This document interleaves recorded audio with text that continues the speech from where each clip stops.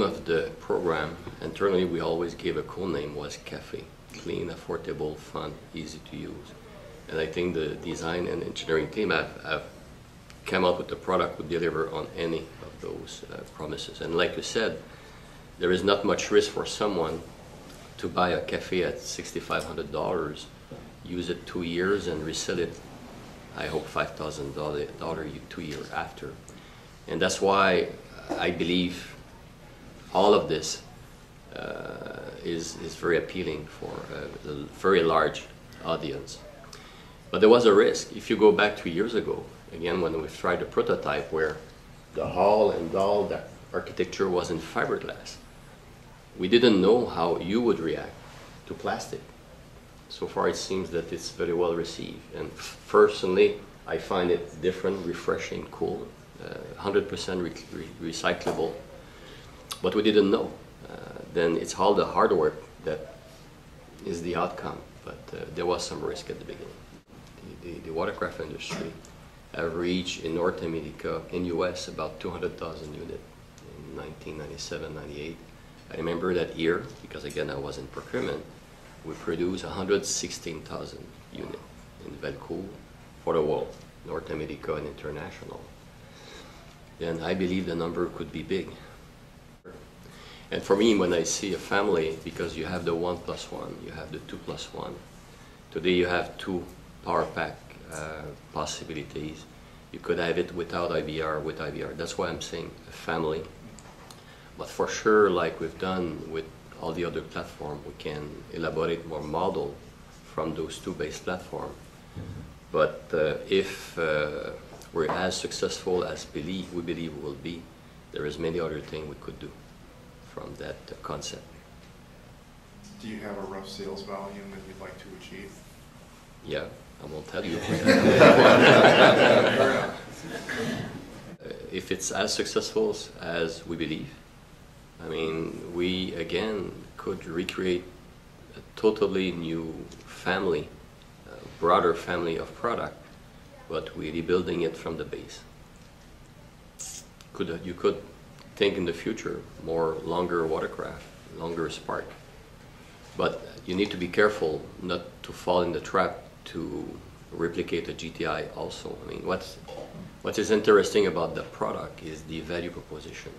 You know, you have a lot for the money. Here, what we do, we have an allocation for every dealer worldwide. Then we have defined a plan where a dealer will come out. We say you have 20 Spark or 25 Spark, whatever. And he can give us his wish list. And we'll see how the product catch up and how the product retail and will adjust production because again, we need to make sure we, we, we build a solid foundation uh, for, uh, for the business. In terms of demographic, the focus was family or couples uh, 25 to 35 years old, an income of $90,000. That was the demographic. And, uh, which is quite different than our customer today. Then we're trying to bring a younger crowd to the watercraft business. The four words was cafe, clean, affordable, fun, easy to use.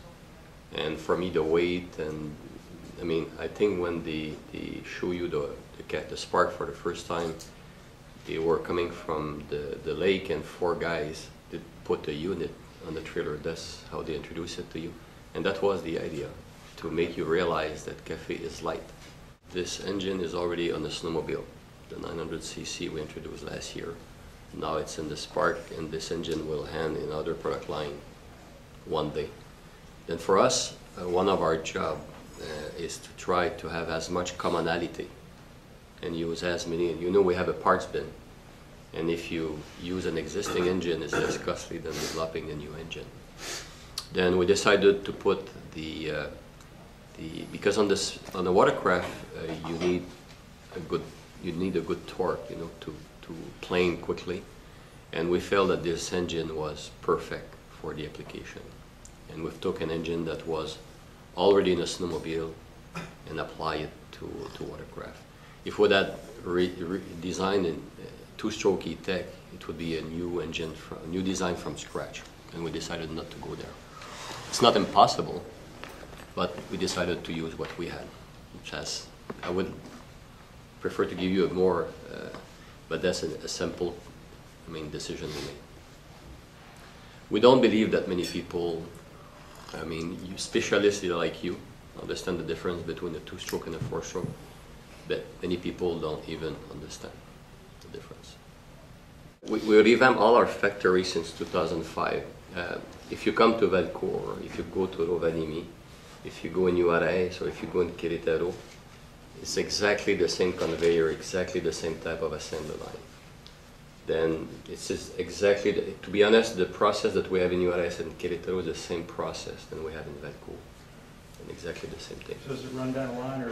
run down the line, assembly line. And what we like a lot about uh, this product is very easy to disassemble. You know, we have all the bolt. You, we don't, we didn't use glue to fix the, the deck on the hull like we do on the other one. The, the design team found a way, engin- engineering found a way to have a very easy to disassemble product. You could change color in 40 minutes. And I really, we really, really count on your collaboration that all of us together will make a difference to, to create a cool, uh, cool product again and, and make more fun in the industry then. Uh, thank you very much for your time and uh, let's make it happen. Thank you.